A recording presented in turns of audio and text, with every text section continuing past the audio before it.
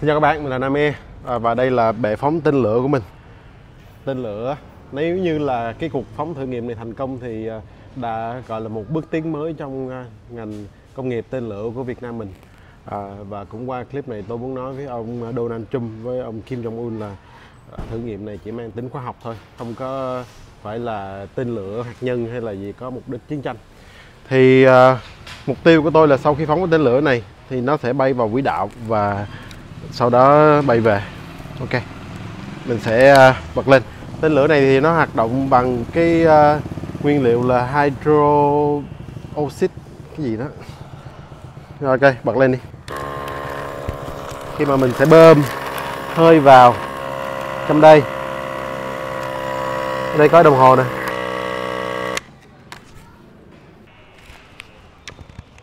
Ok bơm hết nổi rồi. Ở đây là dụng cụ kích nổ nè kết nối nha. Một hai ba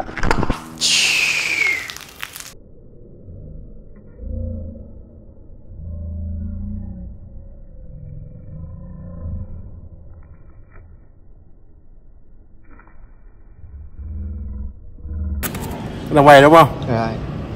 một hai ba ê đáng lẽ là